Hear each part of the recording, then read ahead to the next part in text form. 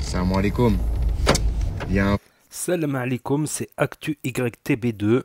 Voilà, on va regarder une story de Kamel Ancien qui va nous parler au sujet de la religion. Et après sa vidéo, je vous dirai mon avis. N'hésitez pas à mettre un pouce bleu et à vous abonner. Salam alaikum. Il y a un frérot en privé qui m'a envoyé un message en me disant Kamel, euh, tu parles euh, rarement. Il m'a dit tu parles rarement d'islam. Alors mon frère, je, vais, je lui ai demandé l'autorisation si je pouvais faire une réponse ici. Il m'a dit il n'y a pas de souci avec plaisir. Donc je fais une réponse ici. Je vais, je vais te dire mon frère, en gros, pour moi, ça, il faut vraiment, c'est des sujets qui traitent. Les gens, ils sont même pas qualifiés, rien, ils viennent, ils donnent des conseils, tout ça. Tu vois, c'est- quand même, c'est quand même une lourde responsabilité, mon frère, tu vois. Il y a même des imams où tu peux ne pas être d'accord avec eux, des imams en France, parce qu'ils se contredisent, tout ça. Moi, je vais te donner des conseils. Moi, le seul conseil que je vais te donner, écoute bien. Moi, mon frère, je vais te donner, allez, deux conseils. Deux conseils qui, pour moi, que- ce que j'applique. Allez, ce que j'applique. Voilà. Trois conseils. Après, non, sinon, je vais partir. Je vais partir trop loin. Mon frère, le premier conseil que j'ai à donner, la salade, faut jamais lâcher. On l'a vu de toute façon tous autour de nous. Des gens qui nous ont quittés du jour au lendemain, c'est-à-dire on peut partir à tout moment et on sait très bien qu'on va tous partir à un moment donné. Donc la première des choses, c'est la salade.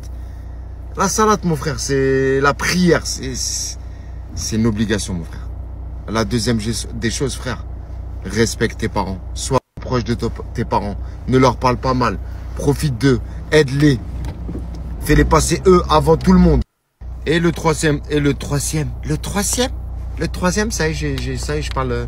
Et le troisième conseil que je peux te donner, mon frère, Wallah, respecte les gens, frère. Respecte tout le monde. Ne fais pas comme ils font certains. Ils respectent d'autres parce que ils sont, riches, ou là parce que c'est des fous, ou là parce qu'ils ont peur d'eux. Mais toujours, mais les, les gens, mets-les tous au même piédestal. Tu les mets tous au même rang. Tu les mets tous au même rang. Respecte les gens de haine et de rancœur. Wallah, c'est vrai. Là, je te parle vraiment en connaissance de cause. J'ai vécu pendant des années avec des rancœurs. Wallah, ça va te noircir le cœur et ça va te pourrir la vue. Ça va se ressentir. C'est les seuls conseils que je peux te donner, mon frère. Wallah. Après, Roya, t'as vu les questions. Après, t'as vu les questions qui traitent de la jurisprudence, qui traitent de la morale, euh, en islam, tout ça. Roya, moi, je serai toi. À la bibliothèque. enfin, quand je dis la bibliothèque, je vais lire des livres. Je regarde c'est qui l'auteur aussi. Faire très attention. Mais Roya, c'est pas sur- Internet, sur les réseaux sociaux. Allah, Roya, je sais pas si tu vas, si tu vas évoluer positivement. Je tombe de très très haut. Je suis des prédicateurs musulmans français, des imams, tout ça. Et ensuite, t'entends des vertes et des pas mûres sur eux. Voilà, mon frère. Ah oui. Ah oui, oui, oui, oui. J'ai oublié, j'ai oublié. Et là, c'est très important, mon frère. Attention, attention, attention. Cette story, elle est très importante. Ah, mon frère. J'arrive plus à conduire mon Clio. Cette story, elle est très, très importante. Là, on rentre à partir de ce soir dans les dix dernières nuits de Ramadan Karim. Mon frère, s'il y a une formule qu'il faut bien dire ces dix dernières nuits du Ramadan, c'est Allahumma innaka afoun tuhibbul afwa anni. Wallah, c'est très important. Et tu peux la dire même en français. Si tu n'arrives pas à la dire en arabe, tu peux la dire même en français. Oh Allah, tu es le pardonneur. Tu es celui qui aime pardonner. Pardonne-moi. Voilà. Vous avez vu, subhanallah, comment c'est tout simple. Comment l'islam, c'est tout simple.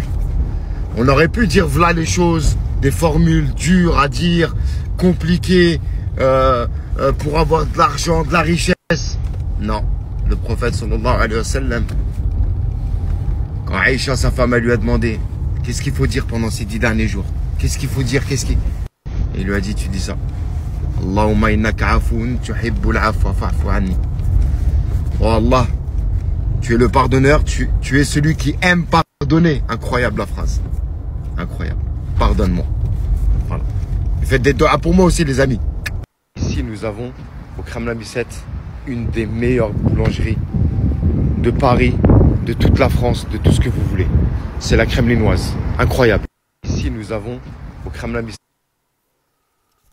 Comme je vous ai dit pour les pubs,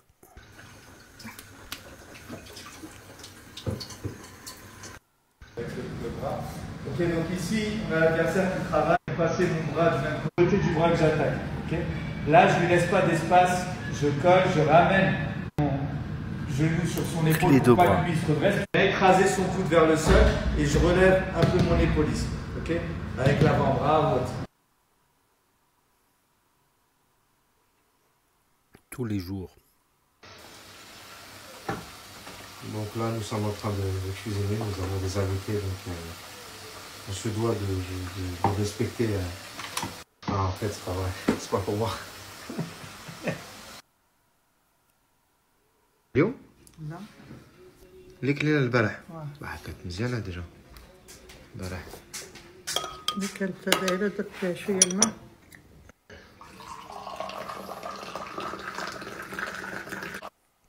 Donc voilà, c'était la story de Kamel Ancien. Je la partage parce que je trouve ça intéressant. Pour la doua, à la fin des dix derniers jours euh, du ramadan, comme on dit, euh, comme, est écrit dans le Coran, Bismillah wa Rahman Rahim. Ça veut dire euh, Dieu le miséricordieux, le très miséricordieux, comme on dit. Mais il faut faire un effort aussi. Il faut faire un effort. La, miséricorde, elle se mérite aussi, elle se mérite. Voilà, si on a fait des péchés, ben, qu'on reparte vers le bien. Voilà. Donc, dans les conseils, oui, euh, il a raison. Il a raison. La, la, la la prière, c'est un des piliers de l'islam. Le ramadan aussi. La sadak, la zakat, euh, la profession de foi. Quand on dit La ilaha illallah Muhammad Rasulillah, ça veut dire de Dieu il n'y a que Dieu et Mohammed son prophète. Et, et, la, et le hajj, la Umrah, au moins, une Umrah. C'est un pèlerinage à la Mecque, quoi. Donc, c'est les cinq piliers de l'islam. Après, oui, comme il a dit, il y a, des il y a même des imams qui sont en divergence. D'ailleurs, les quatre madhab euh, sunnis sont en divergence, que ce soit en jurisprudence ou dans d'autres domaines. Euh, ils sont surtout en jurisprudence, elle, elle varie euh, d'un madhab à l'autre. Voilà, plus ou moins. Donc il y a même des savants, je dis même pas des imams, il y a même des savants qui sont en divergence. Et pour être savant en islam, il faut posséder les quatre doctorats. Donc déjà, on possédait qu'un seul de doctorat. Déjà, possède un seul doctorat en lettres arabes, doctorat en lettres arabes anciennes, parce que le Coran est un mélange de quatre langues anciennes de l'époque. C'est très important. Il y a beaucoup qui ne comprennent pas tous les mots dans le Coran. Donc il y a des lexiques, des dictionnaires.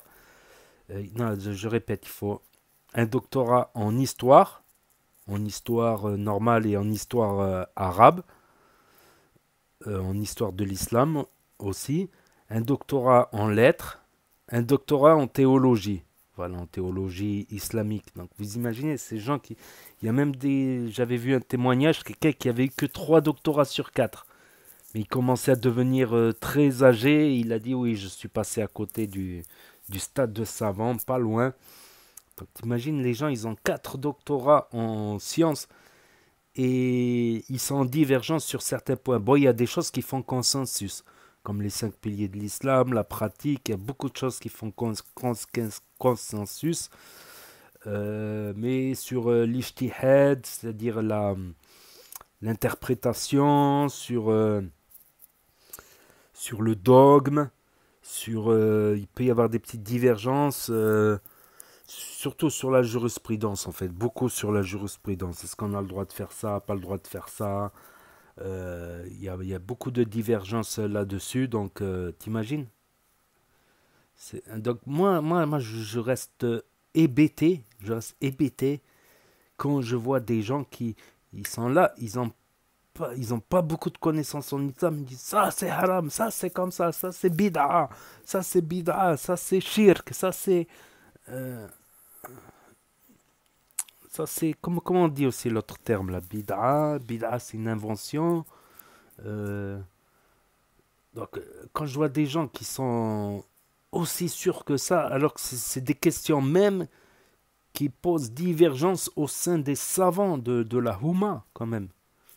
Donc, moi, moi quand j'ai commencé à, essayer de comprendre, voilà, dans les années 2000, 2005, j'ai commencé à beaucoup plus m'intéresser à l'islam, tout ça. Et plus j'apprenais des choses, que ce soit sur l'histoire, sur la religion, sur, euh, les, courants, plus j'apprenais des choses, plus je me rendais compte que je ne savais pas et qu'il faut être assez humble. On a déjà, comme il a dit, je trouve qu'il a bien parlé, il y a la pratique déjà. Voilà, faire euh, un effort là-dessus, sur la pratique, sur euh, la prière, sur euh, le euh, ramadan, sur, euh, pas mal de choses, voilà. Donc voilà, je vais arrêter la vidéo là. N'hésitez pas à me dire ce que vous en pensez dans les commentaires, à mettre un pouce bleu, à vous abonner, à cliquer sur la cloche. Et je vous dis à bientôt pour de nouvelles vidéos. Merci d'avoir regardé. C'était Actu YTB2, premier sur les actus, les infos des influx. Tchuss.